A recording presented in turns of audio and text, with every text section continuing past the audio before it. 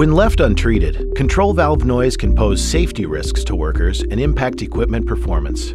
Knowing this, it's important that we have a clear understanding of control valve noise, as well as the noise reduction technologies that are available to us. Control valve noise consists of sound waves of varying amplitudes and frequencies, which can create potentially damaging vibration. This noise is measured as a sound pressure level, or SPL. Fortunately, we can reduce SPL to a manageable level by addressing high noise at its source. This can be done by shifting sound wave frequencies higher, introducing proper valve sizing, and managing pressure at different stages in the valve. Emerson has led the way with several source treatment solutions, such as Fisher Whisper Trim and Whisper Tube technologies, the V260 control valve, and the Vee-Ball attenuator.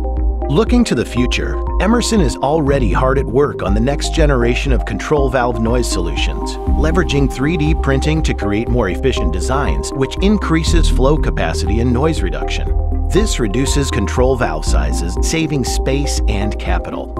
With these and other innovations, Emerson is raising the bar for control valve noise reduction across the industry. So keep your ears open, because you'll be hearing more of the next game-changing solution from Emerson.